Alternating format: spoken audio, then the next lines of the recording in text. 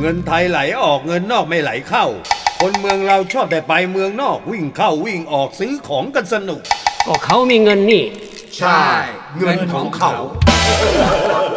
ถึงไงมันก็เงินไทย ใช้มากไปทำให้ขาดสภาพคล่อง เงินบาทขาดดุลเงินลงทุนก็ไม่มี รู้ได้ไง ใช่ทำไมรู้ข่าวก็ออกกันอยู่ทุกวัน ไม่พากันดูกันฟังบ้างเหรอไม่เคยฟังเคยรู้อะไรหรอก เพราะจ้องดูแต่ฟุตบอลชิงถ้วยกับมวยชิงแชมป์ใช่ มันดี หันมาใส่ใจเป็นห่วงเป็นใยประเทศชาติกันบ้างสิ ก็กลัวมวยไทยจะแพ้มวยนอก กลัวบอลไทยเล่นไม่ออกป้อแป้แพ้ไม่เป็นท่า แล้วจะหาว่าไม่ห่วงใยได้ยังไงฮะ นั่นนะสิ ไม่ห่วงได้ไงทำไปเล่นไปเถอะ